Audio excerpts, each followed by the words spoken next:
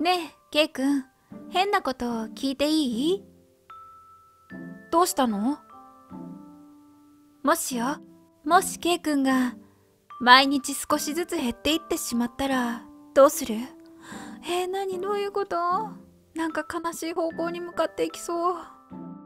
何それ？毎日毎日少しずつ減っていってしまって最後には自分は消えてなくなっちゃうの。そんな時、ケイ君ならどうするのかなって。そんなの簡単じゃん。ん？減ったら足せばいい話だよ。毎日少しずつ減っていっちゃうなら、それ以上に毎日たくさん足していったらいいんだよ。そうしたら、ひなのさんだって消えたりしないよね。ひなのさんがどういう意味で言ったかわからないけど、すごくこれは勇気をもらったんじゃないか？そうね。ありがとう、ケイ君。だけど、何？あ、マフラー返されちゃった。ひなのさんは肩にかかっていたマフラーを取り、僕の首に巻き返す。私はもうすでにケイ君にたくさん足してもらったわ。これ以上欲張ったらダメよね。そんなことな。え、私ね、もうここには来れないの。なんでひなのさん？え？あいつもの嘘でしょ？もうそんな嘘つかないでよ。ううん。お母さんにバレちゃったの。こっそりここに来ていること。だからこれが最後。さよならケイ君。嘘でしょ？え？待ってよ。僕まだマフラーを渡せていない。そう言いかけて慌てて口をつぐむ。まだあのマフラーのことは秘密だったから。そうね。はい、これ。ひなのさんは僕の右手を包み、キャンディーを一つ手のひらの上に置く。約束だもんね。ご褒美。あ、そう微笑んでから、ひなのさんは背を向けて去っていってしまう。追いかけちゃダメ僕はそんなひなのさんになぜだか声をかけることができなかった。僕、まだテストで一番になってないのに、ご褒美なんていらないよ。なぜあの時声をかけられなかったのかわからない。きっと心のどこかではもう来ないという言葉がいつものひなのさんの嘘で、明日また来ればいつものように彼女がそこにいると思っていたのだろう。だけど、もう来ないと言ったひなのさんは言葉通りその日以来秘密基地に現れることはなかった。嘘つきなひなのさん。嘘であってほしい時だけ嘘をついてくれない。もう会えないの？ようやくあの赤いマフラーを購入できたというのに、肝心のひなのさんには会えていない。変えたんだマフラー。僕は赤いマフラーを抱え、秘密基地に通う毎日だった。久しぶりに秘密基地に入ってみるが、以前のように心地よく感じられなくなっていた。僕の大好きが帰ってきたはずなのに、ひなのさんのバカ。ひなのさんが僕の大好きの一番上になっちゃったじゃんか。一人で見る夕焼けは、なぜだかいつもみたいに綺麗だと感じられなかった。キラキラと綺麗な赤色は、ひなのさんの色なのに、赤く染まった空に照らされるひなのさん。その姿が、横顔が、すべてが、たまらなく好きだった。夕焼け空が綺麗だと感じられていたのは、そばにひなのさんがいたからだったんだ。会いたいよ、ひなのさん。振り返ったらいてほしい。会えないの？ひなのさんに会えないまま、どんどん日が過ぎていく。寒い。今日も僕は秘密基地に来ていた。いつも占領していた嘘つきな幽霊はいない。秘密基地の中で膝を抱え、まぶたを閉じる。そうすると、ひなのさんと笑い合った日々が頭をよぎる。いつも僕に嘘をついていたひなのさん。減っていくことを恐れていたひなのさん。本当にキャンディーみたいにひなのさんは減って消えてしまったのだろうか。ひなのさんは、本当にひなのさんは幽霊だったのかな。毎日毎日少しずつ減ってついには消えてしまったんだ。きっといつもキャンディーを舐めていたのも嘘つきだったのも幽霊だという事実をはぐらかすためだったんだ。減ってしまったらどうするって聞いてきたのはそういうことだったのかな。何のために僕に接触したのかはわからないけど僕にとってひなのさんとの日々はかけがえのないものだったのは確かだ。ひなのさん今までありがとう。僕とても楽しかったよ。ひなのさんは僕といて楽しかったのかな。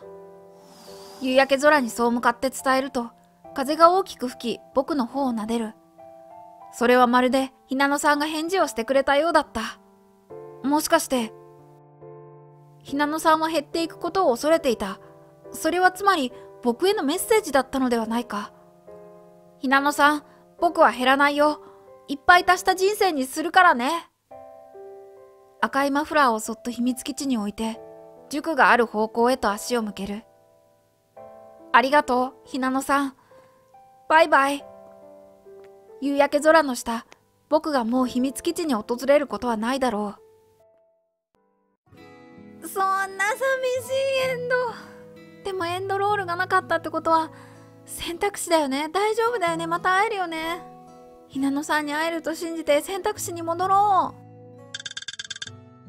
う。さあ2個目の選択肢です。ひなのさんが咳をしてて寒いの？って聞いたらそんなことないよって気を使って言ってくれたとこですね。嘘つきって言ってみましょう。強がらないんでいいんだよっていうことなのかな。嘘つき。ひなのさんは人間だよ。行ってきます。ここからは一緒なのかな？違うところまでスキップしますね。やっぱりここにはもう来ないって言ってる。この未来は変わらないのかな？マフラーも買った。でもひなのさんは来ない。会いたいよひなのさん。ひなのさんはこのセリフ違うよね。消えるわけないじゃん。幽霊のわけないじゃん。だってひなのさんは人間なんだから。ケイくん泣きそうやっと会えた。頭上で自分の名前を呼ぶ声が気がして勢いよく顔を上げると「ひなのさん帰ってきてくれたよかった」ひなのさんケイくん久しぶり。ああよかった。目の前には散々会いたいと願っていたひなのさんの姿がそこにあった。ひなのさんだ。おかしいな言葉が出てこない。あ あ私も泣きそうになっちゃうじゃんああれいろいろと伝えたい言葉はたくさんあったはずなのに情けなく涙がポロポロと溢れてくるばかりだった。ひなのさん生きていた。減って消えていなかった。それがとても嬉しかった。本当は来る気なかったんだけど。ケイくんあちょっと待ってね。ちょっと待ってね。休憩するね。よし紅茶を一杯飲んで落ち着いてきたよケイくんごめんなさい。もう私のことなんて忘れて。私は幽霊だからケイくんと会うべきじゃなかった。お話なんてするべきじゃなかったの。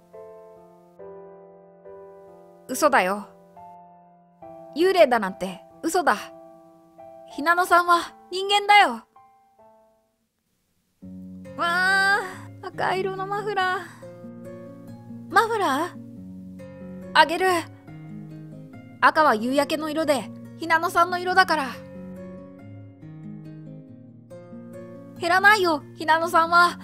もし減ったって僕がいっぱい足してあげるから。だからもう幽霊だって言わないで。減って消えてしまうなんて言わないで。僕はもっとひなのさんと一緒にいたいんだから。なんかダメだね大人になってね。すごい。涙もろくなった気がする。あなんかね切ないお話とかって泣いちゃうからねあんまり好きじゃないんだけど。いややっぱ好きだわ。好き。暖かい。それに K 君の匂いがする。ごあごめん。僕が長い間持っていたからかな。ありがとう K 君。すごく嬉しい。ひなのさんも泣いてくれた。え？ひなのさんどうしたの？どこか痛い？ううん違うの。本当に嬉しくて。嫌だわ。私ったらすぐ止めるから。ひなのさん。僕は恐る恐るひなのさんの頭を撫でる。ありがとう。そうするといつも大人びていたひなのさんがなんだか幼い子供のように可愛らしく感じてくる。へへ。ひなのさんだってまだ子供だもんね。よしよし。いい子いい子。K 君に子供扱いされる日が来るなんてね。素直に僕に頭を撫でられているひなのさんだったがしばらくすると涙も止まり落ち着いた様子を取り戻してきた。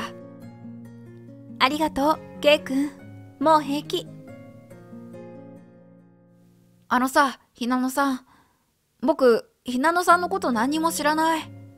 どうしてひなのさんは嘘をつくのかとかどうしてひなのさんは幽霊だっていうのかとか教えてくれないかな。理由がちゃんとあるんだね。聞いたって面白い話じゃないわよ。ううん。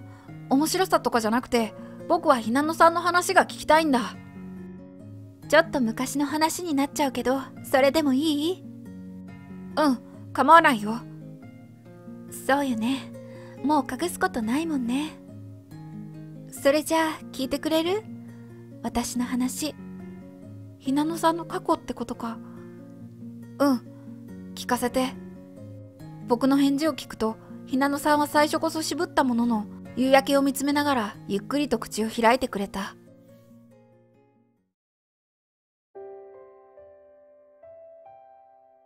難病持ちだって中学の時もほとんど教室にいなかったって聞いたよ。ずっと咳しているよな。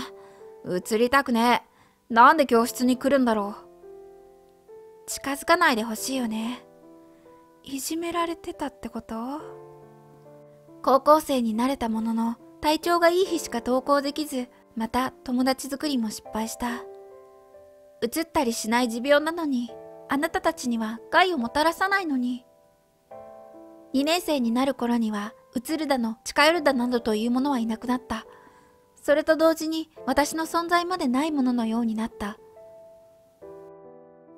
減っている時間とともに私の居場所が私の存在が私の命が減っているって言ってたけどひなのさん自身のことだったんだ。本当のことだったんだ。体調を崩してしばらく学校を休み数週間ぶりに登校しても誰にも話しかけられない。久しぶりと関係する者もどうして登校してきたと邪険にする者もいない私はいない存在まるで幽霊ね。そのクラスメートがひどいよ。なんとか3年生にまで進級できたが、重い病気が発覚したのはそれからすぐのことだった。どうして？どうして私ばっかり？私が何をしたっていうの？ただ、普通に生きていたいだけなのに、病がそれを邪魔をする。減っていくばかりの私の世界は真っ黒だった。だから黒って言ったんだ。夏をベッドの上で過ごし、ようやく外出が少しなら許可された頃。本当は勝手に外に出ることを両親から許可されていなかったが、父が仕事で母が夕食の仕事をしている夕方のみ、こっそりと部屋から抜け出すことができた。下校する生徒たちに混ざるように自分も制服を着て外を歩く。普通の高校生みたいに、普通の人間みたいに。そうだよね。当たり前の生活もさ当たり前に生活できない人もいるんだよな。そんな散歩の途中偶然近所の河川敷の橋の下に何かがあるのを発見した。何これ？犬の小屋のような段ボールで囲まれた小さな空間。きっと子供が作ったのだろうと察する落ち着く。すっぽりと自分を包み込んでくれる段ボールで囲まれたそれは不思議と心地よく心が温まるのを感じる。ここで出会えたんだね。あまりの心地よさについうたた寝をしてしまったらしく、空が真っ赤に染まりきった頃、プリプリと頬を膨らませた少年がそこに現れたのだった。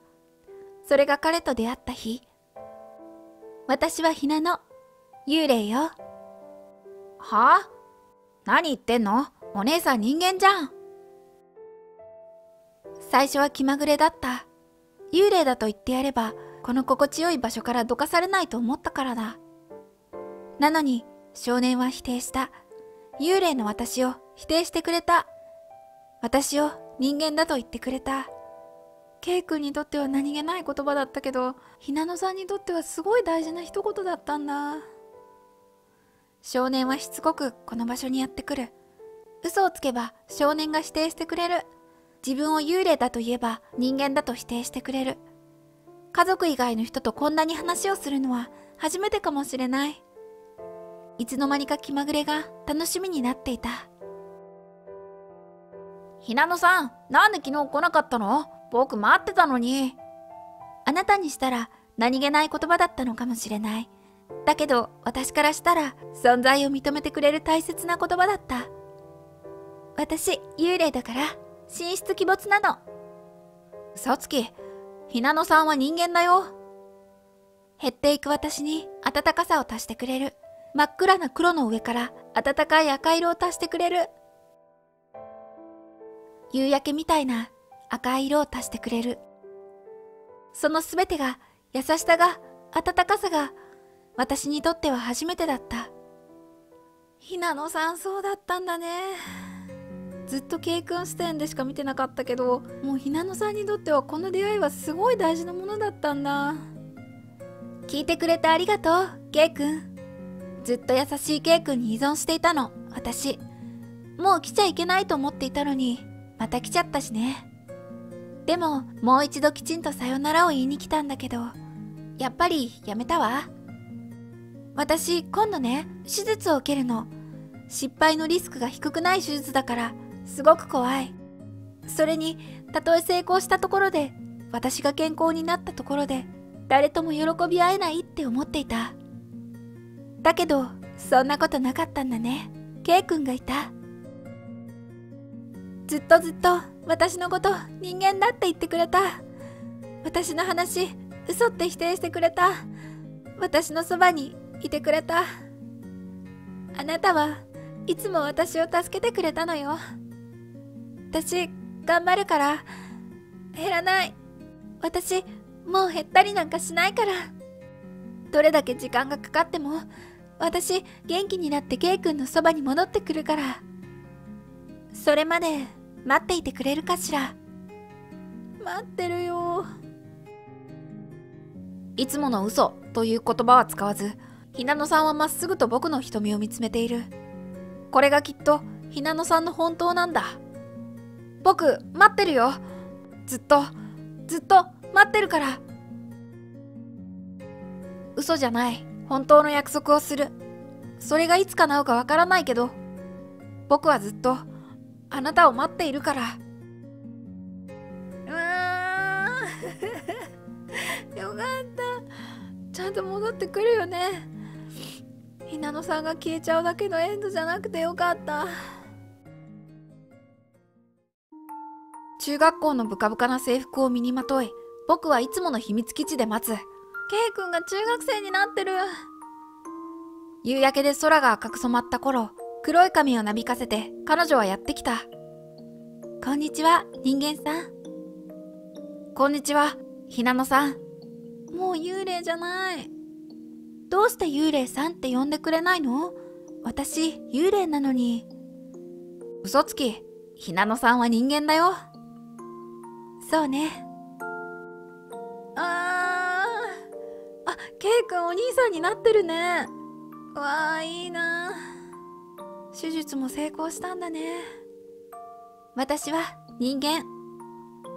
夕焼け空の下、ひなのさんは僕に向かって柔らかく微笑んでくれた。よかったなんかもう何回 何回泣いたんだろうって感じですけど BGM もすごい良かったしいや久しぶりにいっぱい泣かされたな映画とか見ててもほんとボロ泣きするんですよねひなのさんが嘘をいっぱいついて嘘つき幽霊になったのもちゃんと理由があったんだね。でもそれを K 君が全部払拭してくれてこの先は2人で幸せになってくれたらいいな。最高のおねしょたストーリーでしたね。ご視聴くださった方ありがとうございます。また次のゲーム実況動画でお会いいたしましょう。バイバーイ。